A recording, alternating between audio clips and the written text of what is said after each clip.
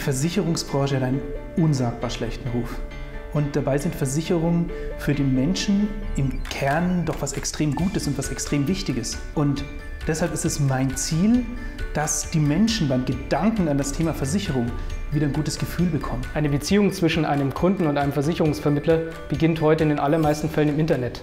Und da ist es natürlich Voraussetzung, dass der Internetauftritt ansprechend ist.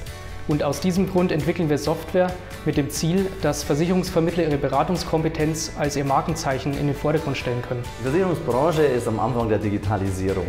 Ja, das Produkt Versicherung kann zu 100% digitalisiert werden.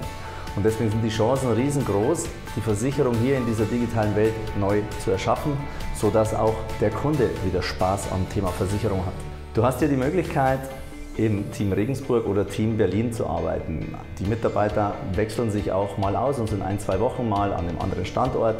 Es ist flexibel und trotz der räumlichen Entfernung sind wir immer ganz nah, weil wir im ständigen Kontakt miteinander sind. Die digitalen Welten machen das möglich. Wir skypen, wir chatten und wir telefonieren täglich mehrmals. Wir arbeiten als Team an zwei Standorten. Das funktioniert einwandfrei. Wir kommunizieren entweder über Telefon oder über ein Tool, womit wir viel schreiben und kommunizieren und wo wir auch uns einzeln ansprechen können oder als Team zusammenarbeiten können. Das macht sehr viel Spaß. Es ist halt sehr, sehr äh, kollegial das Ganze. Das Unternehmen ist sehr familienfreundlich, Sie sind sehr flexibel mit den Arbeitszeiten, also Kind und Familie ist einwandfrei zu vereinbaren. Du musst, um bei Experten Homepage erfolgreich zu werden, Spaß an der Arbeit mitbringen und frische Ideen.